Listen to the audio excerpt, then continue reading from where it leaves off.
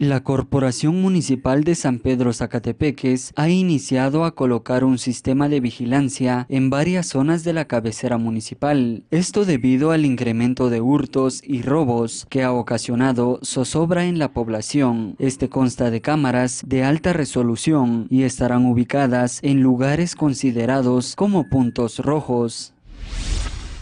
Hemos visto con mucha pena como por ejemplo en el caso de de hurtos y robos ha, aumentado bastante en la población. Y entonces eso nos va a ayudar para saber quiénes efectivamente están haciendo fechorías en las calles de San Pedro Zagatepeques.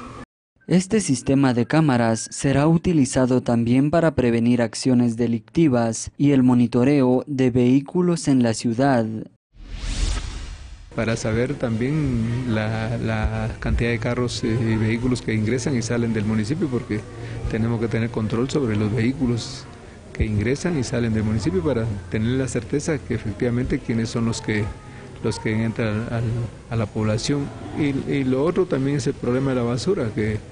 que muchos habitantes irresponsables o inclusive de otros municipios nos vienen a tirar basura al municipio tirándonos bolsas en las calles y entonces eso